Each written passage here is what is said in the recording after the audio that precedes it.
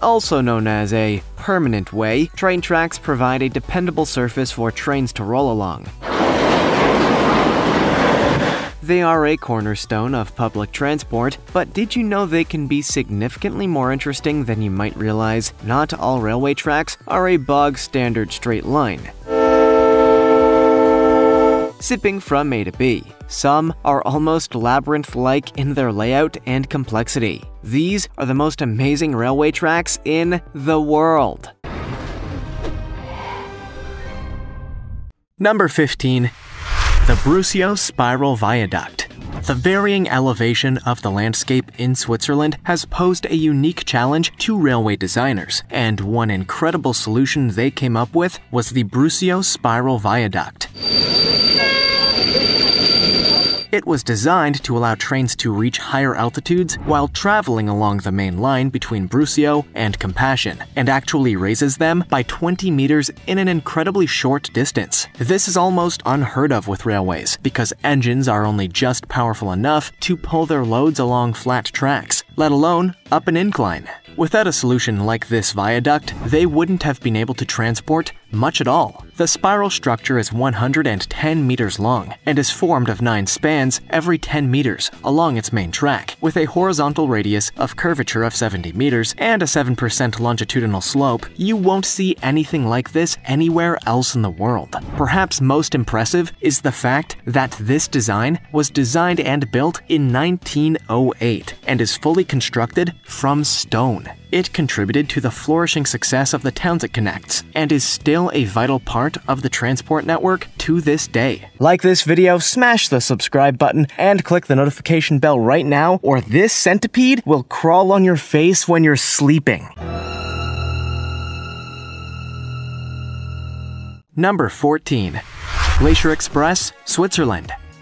Switzerland is a country full of mountains, hilly terrain, and valleys, and at the beginning of the 1900s, a massive engineering feat was undertaken to build the Glacier Express. This rail route connected the commercial hubs of the country from the west to east. But the problem was there's a mountain range in the way. Don't let the name fool you. This is hardly a fast way to travel. Take your seat on the Glacier Express. And it is, in fact, the slowest express route in the world, taking 8 hours from end to end. But there's a very good reason for that. It covers a 181 mile long journey, and to navigate the terrain and ensure that the gradient of the track never rises above 3.5%, there are 291 bridges and 91 tunnels, including the Furka Tunnel, which itself is 9.6 miles long. It's an astonishing feat of engineering and has been integral to the Swiss economy since it first opened in 1930. If you want to travel along the route, make sure you have a Swiss watch to keep track of time though, because during the winter, there's only one train in each direction per day, and this only increases to three in the summer.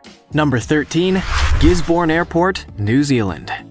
Gisborne Airport is a relatively remote and quiet transport hub that's on the east coast of New Zealand's North Island. Located in the outskirts of the town it serves, its runway is a one-of-a-kind because instead of being a dedicated stretch of tarmac for planes to land and take off, it's actually bisected by a railway track. Covering an area of 160 hectares, the airport covers the most convenient route out of the region, so engineers had no choice but to design this unusual workaround. The Palmerston North to Gisborne train line is one of the most important transport links on the island.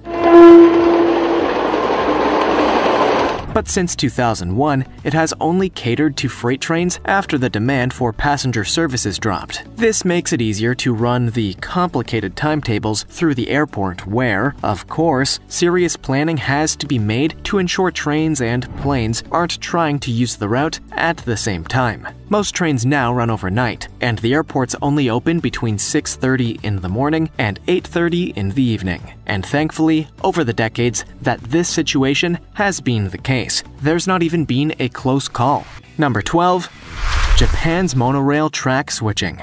While most of us think of monorails as transport networks that you ride on at theme parks, the technology has actually been incorporated into the urban design of some places in the world.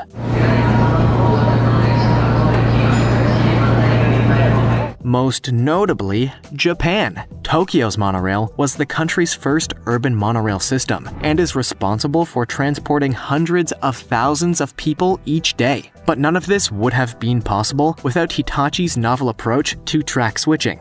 Switches are vital to routing trains along different routes, and it has enabled city planners to create transport hubs where trains on a number of different lines can stop. With a monorail, it's more complicated than switching tracks on a traditional railway, and Tokyo switches, in some cases, can move between five different options. It actually involves moving an entire section of the track itself to make the connection. But from the passenger's perspective, it remains as smooth a ride as the rest of the journey. You won't even notice when you're passing over one of these systems, and it's testament to the innovative design that's being used.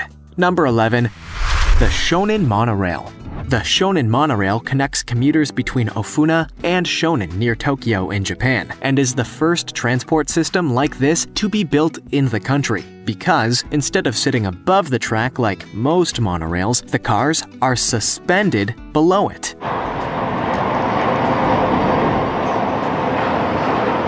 Opened in 1970, the 4.1 mile long track serves eight stations, and trains can travel at speeds of up to 45 miles per hour. As well as traveling very close to the surrounding buildings, there are two tunnels along the route, and you can complete the journey end to end in just 14 minutes. It's a vital transport artery through the region, with departures every 7 minutes, and has been credited with relieving the pressure from the road and traditional rail networks, and has significantly increased the city's public travel capacity. Based on its success, others like it have been built around the country, and the company that designed it, Mitsubishi, has become a world leader in such designs. It's hoped of course, that cities in other countries will adopt the technology for their own needs too, but right now demand is yet to take off. Number 10.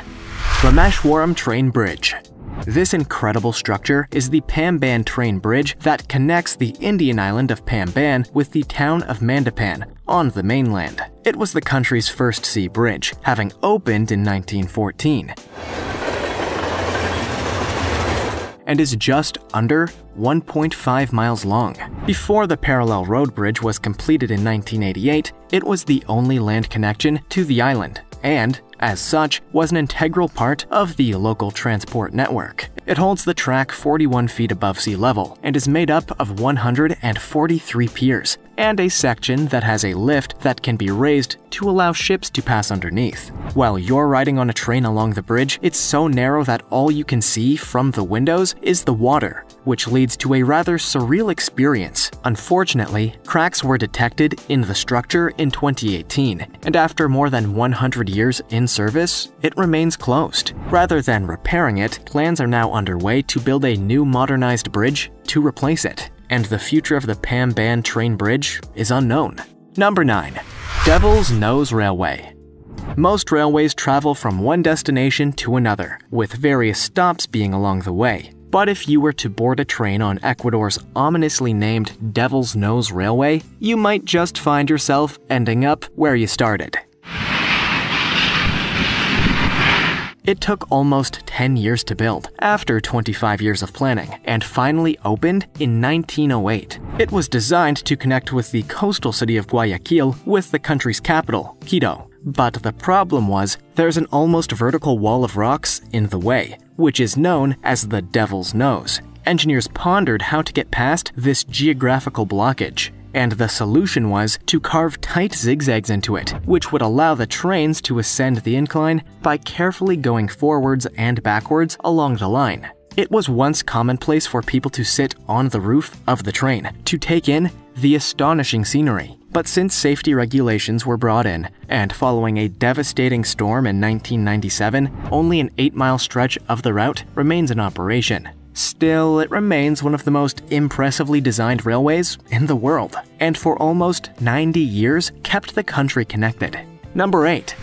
The Death Railway the frighteningly named Death Railway, which locally is known as the Burma Railway, is a route between Ban Pong in Thailand and Thanbysit in Burma. It passes through luscious terrain, crosses the notorious bridge over River Kwai, and navigates the Hellfire Pass in the Tenasserim Hills. But for all its beauty and majesty, this railway has a dark past. It's not called the Death Railway because it's dangerous to travel now, but because of the extreme human sacrifice involved in constructing it. It was built by the Empire of Japan during the Second World War, and they used laborers and prisoners of war to complete the work. In total, as many as 25,000 locals and 61,000 prisoners were used, and they were treated so terribly and kept in such awful conditions that more than 100,000 of them died. The track is lined with graves, and in some of the particularly difficult regions to build, the death rate of workers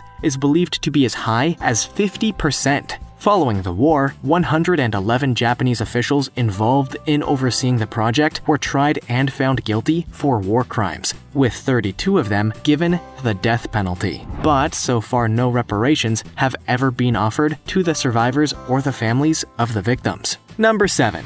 White Pass and Yukon Railroad the White Pass and Yukon Railroad is a rail link between the Alaskan port of Skagway and Whitehorse, which is the capital of the Yukon.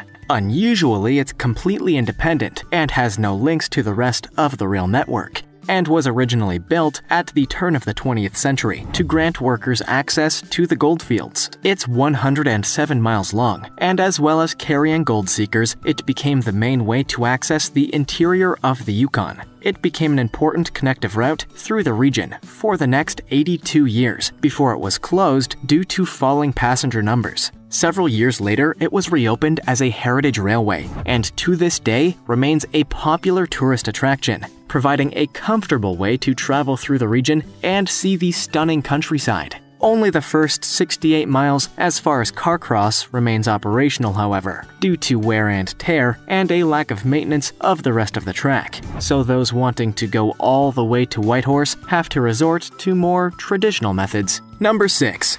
Pilatus Railway, Switzerland.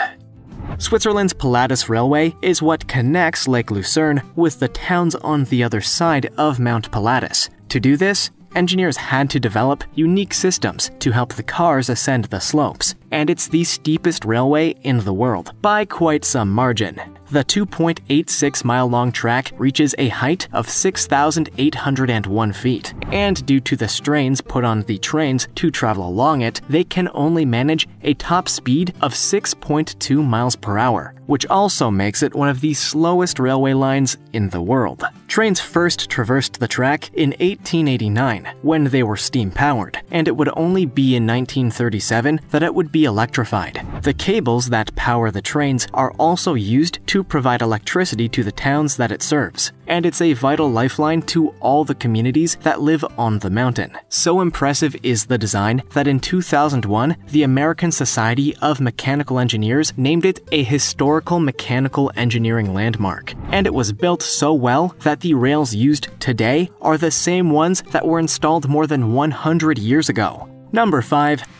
Mae Klong Railway Market the Mae Klong Railway connects the 42 miles between Wongwian Yai in Bangkok with Samut Songkhram in the center of Thailand and was opened in 1904. Designers faced a major hurdle with the planned route, however, because it passes through a region where the economy relies on trade in seafood, and there was no choice but to lay the tracks straight through the center of one of the largest seafood markets in the country. This didn't deter the vendors though, and they still sell their goods from the same place to this day. They set up their stalls and produce, but when a train approaches, they have to quickly put it all down so it can pass. Fortunately, trains aren't very frequent, and they can be heard long before they reach the market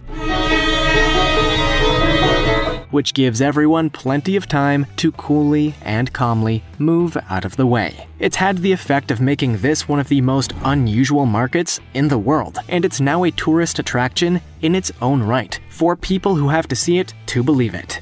Number 4.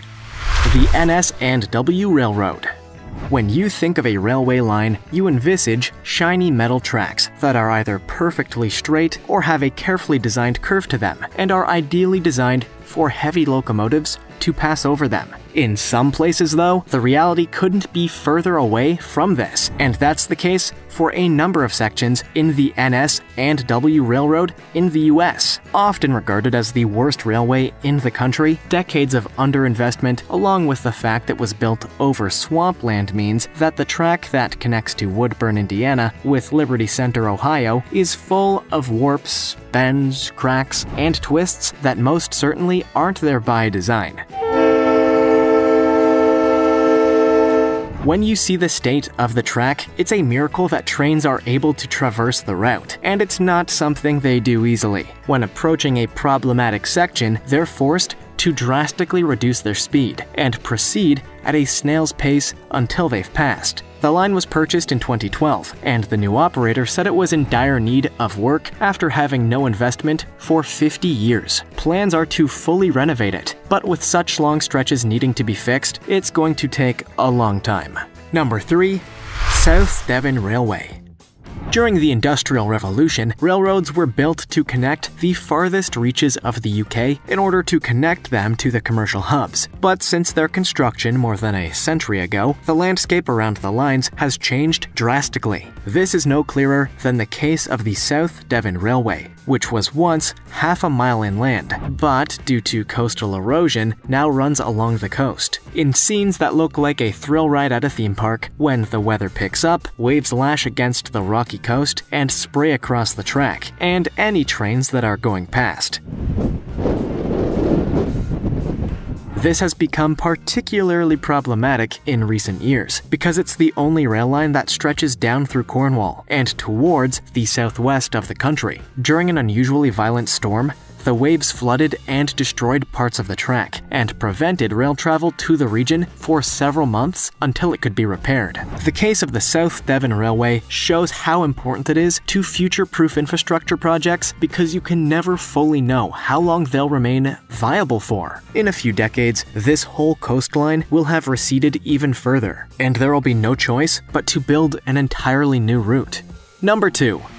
Love Railway in Ukraine the Love Railway, also known as the Tunnel of Love, is one of the most magical and unusual railways in the world, not least because most people travel along the tracks by foot instead of on a train. It's a stretch of industrial railway near the town of Klevan, and for about three miles, it's been completely surrounded by a forest. With glorious green arches that surround the entire route, it's no surprise that this has become somewhat of a romantic getaway. A train only passes through three times a day to deliver wood to a nearby factory. And the rest of the time, you'll see couples taking an afternoon romantic stroll. The covering is at its fullest during the spring and summer, but it's also a wondrous place in fall, when the leaves turn orange, and winter, when snow falls all around and covers the branches of the trees. It's a spectacular scene, and something everyone should go see, if they're ever in that part of Ukraine. Number 1.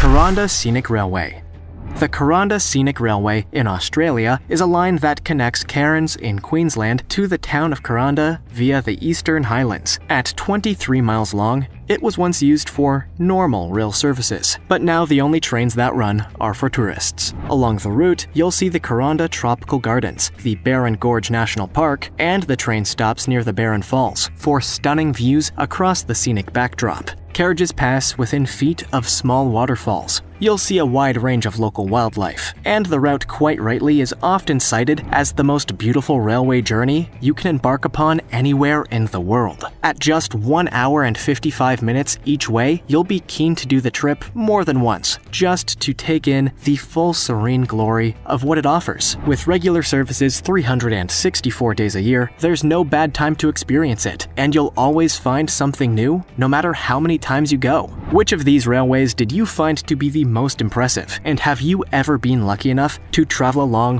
one of them yourself? Make sure to let us know in the comments section. Also, check out our other cool stuff showing up on screen right now. See you next time.